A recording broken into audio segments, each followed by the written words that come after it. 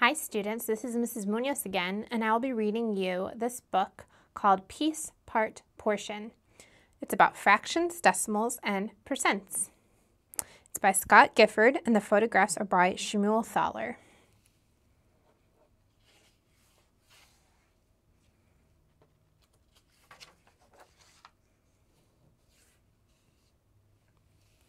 One half of a pair of shoes 0.50 or 50%.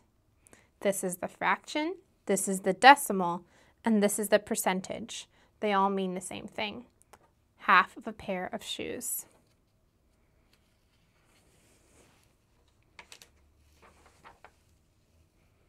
One twelfth of a dozen eggs, 0.08 or 8%.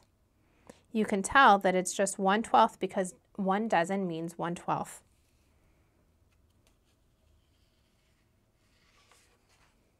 One eleventh of a soccer team, 0.09 or 9%.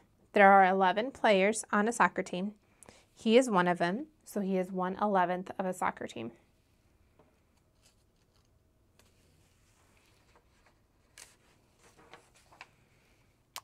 One tenth of your toes, 0.10, 10%.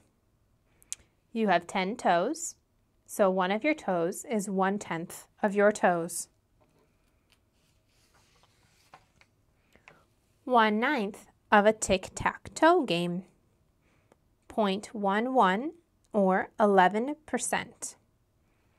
There's one piece in the tic-tac-toe game where there are nine spaces for you to have pieces. So one piece is one ninth of a tic-tac-toe game.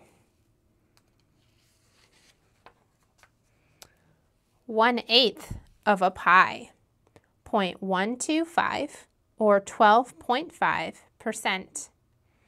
This pie was cut into eight pieces and one eighth of it is left.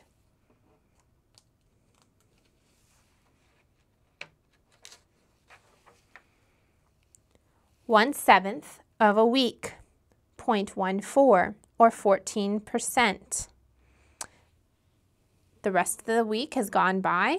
In this picture, it's Saturday, and one day of the week is one seventh of a week because there are seven days in a week. One sixth of a six pack, 0.166 or 16.6%.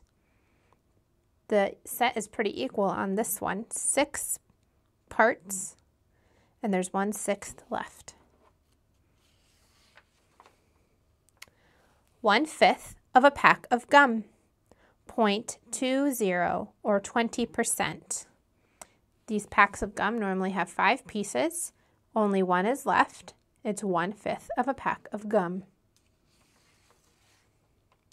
One fourth of a dollar, 0.25 or 25%. Looks like this person is collecting quarters. They only have one of this set of four. So it is one fourth of a dollar. It takes four quarters to make a dollar. One third of a traffic light, 0.33 or 33%. The yellow light is lit out of the three lights, that is one third of the traffic light.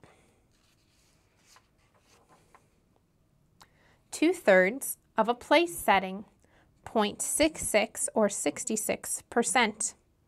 The place setting that's missing is the fork, but you have the other two parts of the place setting, the knife and the spoon, two thirds of a place setting.